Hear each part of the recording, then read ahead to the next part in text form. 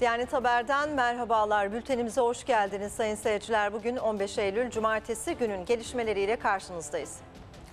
Kafkas İslam Ordusu'nun teşkili ve Bakü'nün kurtuluşunun 100. yıl dönümü törenlerine iştirak etmek için Azerbaycan'a giden Cumhurbaşkanı Recep Tayyip Erdoğan, Azerbaycan Cumhurbaşkanı İlham Aliyev tarafından resmi törenle karşılandı.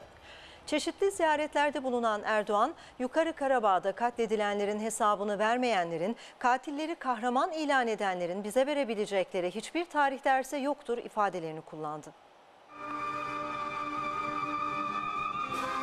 Cumhurbaşkanı Recep Tayyip Erdoğan, Kafkas İslam Ordusu'nun teşkili ve Bakü'nün kurtuluşunun 100. yıl dönümü törenlerine iştirak etmek için bugün Azerbaycan'a gitti. Gençlik Sarayı'nda gerçekleştirilen karşılama töreninde Aliyev makam aracından inen Erdoğan'la kucaklaştı. Erdoğan ve Aliyev'in tören alanındaki yerlerini almasının ardından iki ülke milli marşları çalındı.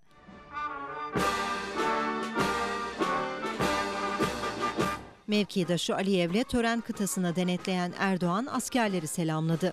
Selam asker. Heyetlerin takdiminin ardından askeri geçit törenini izleyen Erdoğan ve Aliyev daha sonra baş başa görüşmeye geçti. 100. yıl törenlerinde konuşan Cumhurbaşkanı Erdoğan, Yukarı Karabağ sorununun çözülmesi, Ermenistan'la ilişkilerimizin düzelmesinin olmazsa olmaz şartıdır ifadelerini kullandı. Türkiye'nin bu konuda tavrı bellidir. Nettir, kesindir. Bu meselede öncelikle adım atması gereken işgalcilerdir. Bir milyon kardeşimizin yüreğini memleket özlemiyle yakanlardır. Elbette biz bütün komşularımızla iyi ilişkiler kurmayı ve sürdürmeyi istiyoruz.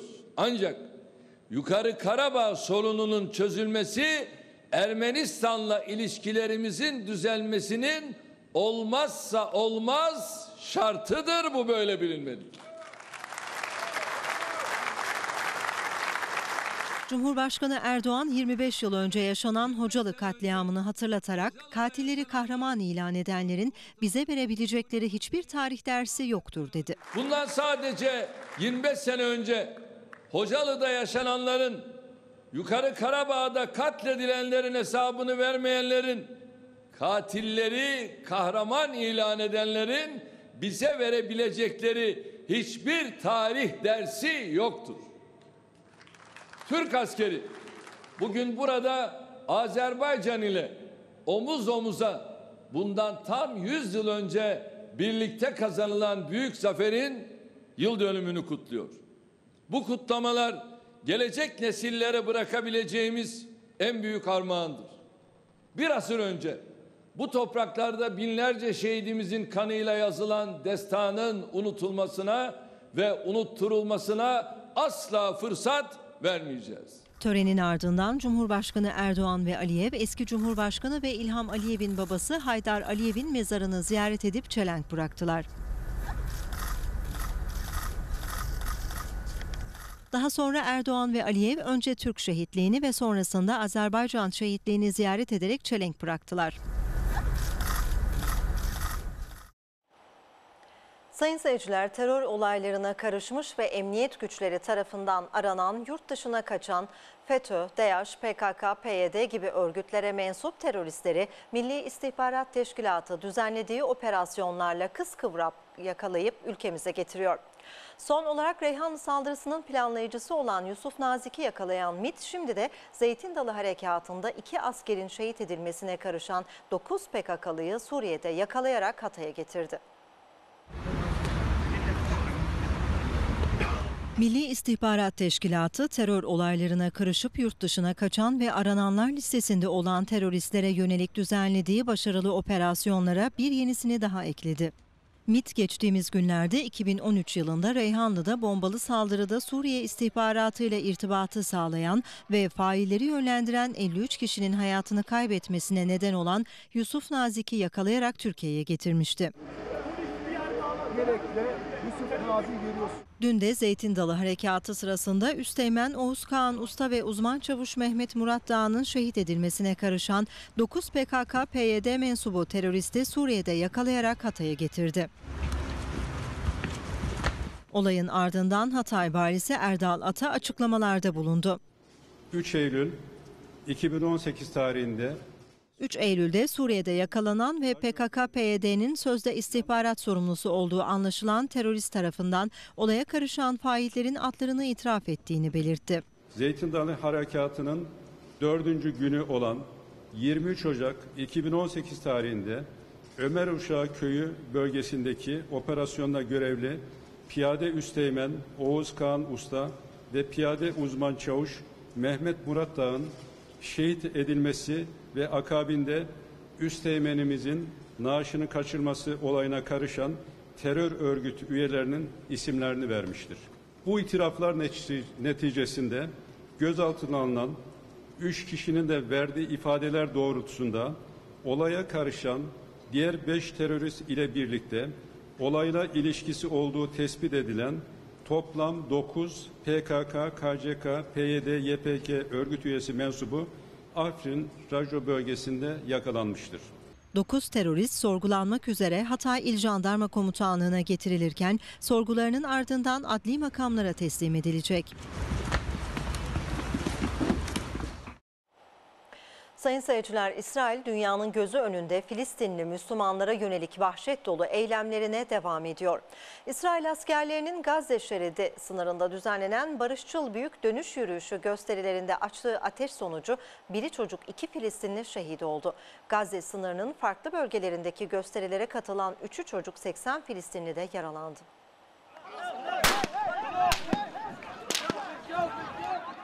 İnsan hak ve özgürlüklerinden bir haber olan ve dünyanın gözü önünde yıllardır Filistinli Müslümanlara kan kusturan İsrail yine kan döktü.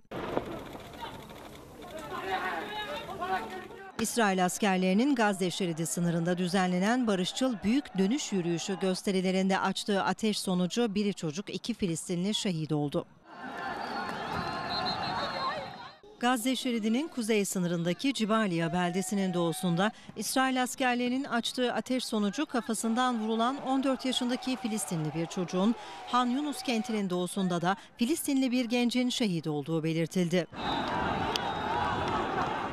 Ayrıca İsrail askerlerinin gerçek mermiyle ateş açması sonucu Gazze sınırının farklı bölgelerdeki gösterilere katılan 3'ü çocuk 80 Filistinli de yaralandı. Filistinliler 30 Mart'tan bu yana abluka altındaki Gazze şeridinin İsrail sınırında Büyük Dönüş Yürüyüşü adı altında barışçıl eylemler düzenliyor. İsrail askerleri ise sürgün edildikleri topraklarına geri dönmeyi ve 2006'dan beri Gazze'ye uygulanan hukuksuz ablukanın kaldırılmasını talep eden sivil halkın üzerine gerçek mermilerle ateş açıyor.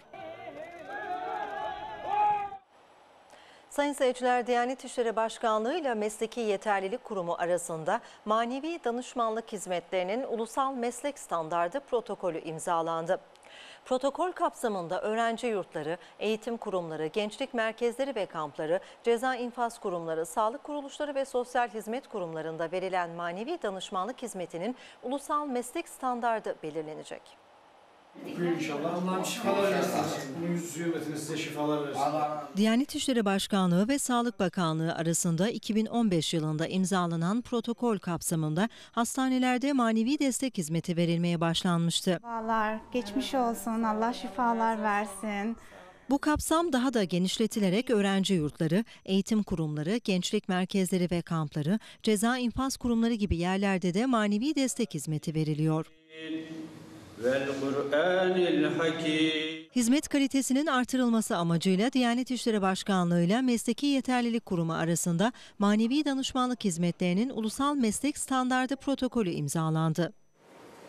Tüm dünyada olduğu gibi ülkemizde de öncelikle çözümlenmesi... Bu sayede öğrenci yurtları, eğitim kurumları, gençlik merkezleri ve kampları, ceza infaz kurumlarında manevi danışmanlık hizmetinin ulusal meslek standardı belirlenecek. Biri de biri kendisine baktığında onu Allah'a gösteren Mesleki Yeterlilik Kurumu'nun moderatörlüğünde ve paydaş kurumların katkılarıyla hazırlanan manevi danışmanlık hizmetlerinin ulusal meslek standardının taslağı sektördeki tüm paydaşların görüşüne sunuldu. Öte yandan Sağlık Bakanlığı ile yapılan protokol kapsamında son 3 yılda sağlık kuruluşlarında yaklaşık 140 bin kişiye, aile ve dini rehberlik bürolarında ise 22 bin 6 kişiye manevi danışmanlık hizmeti verildi. Size şifalar diliyorum tekrar. Şimdi de sırada içimizi ve gönlümüzü ferahlatan güzel haberlerimiz var. Son günlerde kahraman şoförler iyilik haberlerinin ilk sırasında yer alıyor. Bu kez Erzincan'da özel halk otobüsünde fenalaşan yolcu için sürücü Adem Can Baba tam bir ilk yardım müdahalesi yaptı. Ardından yolcuyu hastaneye götürdü. Sara nöbeti geçirdiğini anladım, fark ettim. Ee, Yan yatırdım önce, dilini kontrol ettim. Güzergahı terk edip e, direkt Erzincan Araştırma Hastanesi'ne götürdüm. İçişleri Bakanlığı'nda görevlendirme yapılan Mardin Büyükşehir Belediyesi'nin üniversiteye hazırlık burslarında büyük başarı sağlandı. Kurslara katılan 400 civarında öğrenci üniversiteye girdi.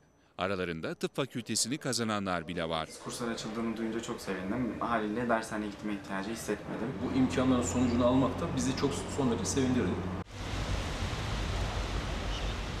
Türkiye genelinde okullar 17 Eylül pazartesi günü açılacak.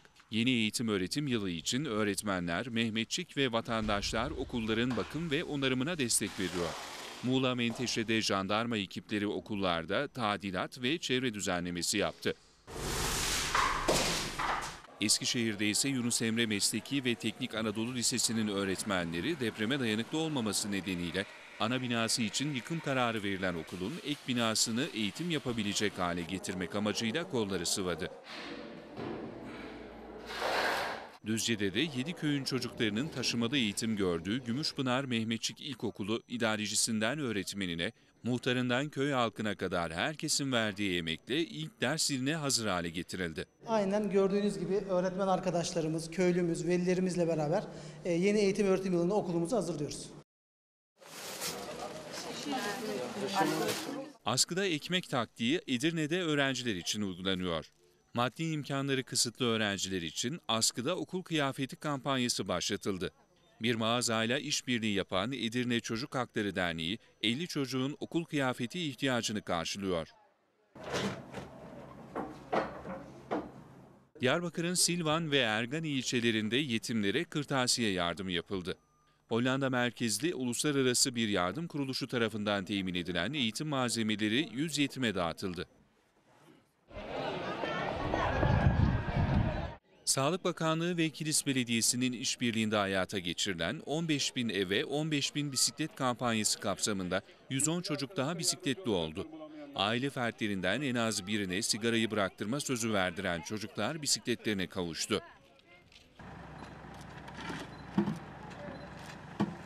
Edirne'de bir grup hayvansever topladıkları atık malzemelerle sokak hayvanları için kulübe yapıyor. Veteriner Uluç Erkan öncülüğünde organize olan grup, tahta, mobilya parçaları, kumaş ve naylon parçalarını kış aylarında sokak hayvanlarına barınak yapmak için kullanıyor. Tek bir sebebi var. Allah için. Sayın seyirciler Fatih Sultan Mehmet Uluslararası Anadolu İmam Hatip Lisesi'nden bu yıl mezun 32 öğrenci yükseköğretim kurumları sınavı sonuçlarına göre önemli bir başarı elde etti. Çeşitli dereceler elde eden İmam Hatipli öğrenciler Türkiye'nin önde gelen üniversitelerine yerleşmeyi başardı. Yeni mezunlardan üniversiteye yerleşemeyen hiçbir öğrenci kalmadı. Fatih Sultan Mehmet Uluslararası Anadolu İmam Hatip Lisesi eğitime başladığından beri önemli başarılara imza attı. Her yıl üniversite sınavlarında başarısını artıran lisenin bu yıl sınava giren 32 mezununun tamamı YKS'de büyük başarılar elde etti. Şu anda e, ilk 3000'de 7 öğrencimiz var. Bunun dışında öğrencilerimizin %78'i e, ilk 50 binin içinde. Derecem 217 idi. Türkiye 217'si oldum ben. Puan olarak da 479 puan yaptım. ODTÜ elektrik elektronik mühendisliği kazandım sınav sonucunda. Beklediğimden daha güzel geldi yani. İmam Hatip liseleri arasında YGS'de ve Arapça bilgi yarışmalarında da birincilikler elde etti. Burada biz mezun olduk. Ben hukuku seçtim. Başka bir arkadaşım elektronik mühendisliğini seçti. Öbürü inşaat mühendisi oldu. İşte İmam Hatip'ten mezun olmak hiçbir şeye engel değil. Hatta sana daha fazla şey katıyor. Makaralı Yay'da ülkemizi temsil eden milli okçumuz Ayşe Bera Süzer azmi ve başarısıyla dikkat çekiyor. Okçuluğu bir erkek sporu olarak görenlere inat aldığı başarılı sonuçlarla dünya şampiyonluğuna göz kırpıyor. Okçuluğa peygamber sünneti diye başladı. Şimdi ülkemizi gururla temsil eden bir isim olduğu milli sporcumuz Ayşe Bera Süzer. 2011'de başladım ok atmaya. Ee, annemin fıkıh kitaplarını karıştırırken okçuluğun sünnet olduğunu gördüm. Oradan bir merak saldım. Öyle başladı. Takım arkadaşlarıyla başarılı sonuçlara imza atan 22 yaşındaki Süzer, okçuluk dalında Türkiye'nin vazgeçilmez isimlerinden biri olmayı hedefliyor. Herkes e, bu branşta başarılı olduğum için benimle gerçekten çok gurur duyuyor. Ailem çok destekli, özellikle annem, babam, çevremdekiler.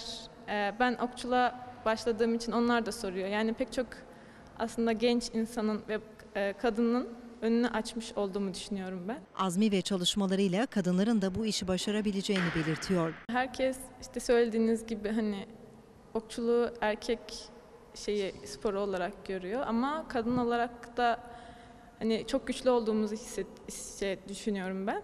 Bu yüzden onlar söylenenlere kulak asmadan okçuluğa başlamak istiyorlarsa başlasınlar. Sabırla devam etsinler. Eminim çalışmalarının karşılığını alacaklardır benim gibi. 2019 yılındaki Dünya Şampiyonası'nda bayrağımızı dalgalandırmak isteyen Süzer, 12'den vurmak için gece gündüz çalışıyor. Dünya Şampiyonası'nda gene takımda inşallah birinci olmayı hedefliyoruz. Aynı zamanda bu sefer bireysel derece de almayı istiyorum. Tekniksel bir yayımda bir sıkıntı olmadığı sürece ben hedefi vuracağımı inanıyorum, onu düşünüyorum yani. Anadolu'nun dört bir yanında duvarlarına yüzyılların kokusunun sindiği tarih miraslarımızın o eşsiz havasını zaman zaman ekranlara taşıyoruz. Bursa'da ticaretin kalbi olarak nitelendirilen 700 yıllık Hanlar bölgesinde bulunan düğün çarşısına gideceğiz şimdi de.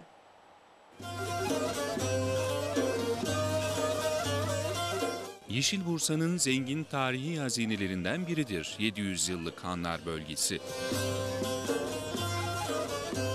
İçerisinde çok sayıda han, çarşı, pazar yeri ve bedesten bulunan Hanlar bölgesindeki 65 dükkanlı düğün çarşısı yıllardır Bursa ve çevresindeki illerde düğün hazırlığı yapanların uğrak noktası. Çarşılarımızda eskilerden beri bilindiği için ilk bizi tercih edip ilk bize gelen çok müşterilerimiz var. O sebepten dolayı sadece Bursa'ya değil Bursa ve yakın il ve ilçelere hizmet vermekteyiz. Sadece Bursa ve civarı mı? Namı yurt dışına da taşmış düğün çarşısının. Yurt dışı misafirlerimiz, yurt içi misafirlerimizle çok güzel bir sezon geçiriyoruz. Ee, özellikle e, Arap turistlerimizden de çok memnunuz. Geçen seneden nazaran en aşağı bir iki kat diyebilirim gurbetçilerin gelimi.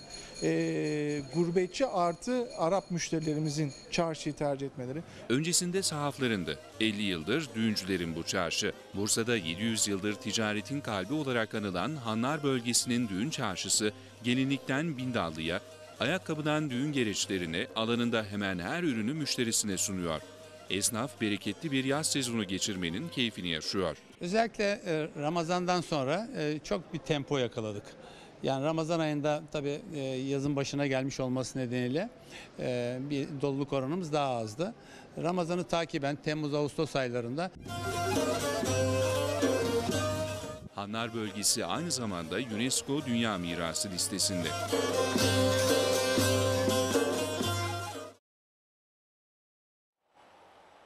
Kayseri Develi'de emekli 3 arkadaş ne yaptılar? Kazma küreye sarıldılar, sevabına dağda bayırda suyu kesilen pınarlara su taşıdılar. Tabii ki kovalarla değil, o pınarların su yollarını açarak. Peki dertleri ne? Birlikte bakalım.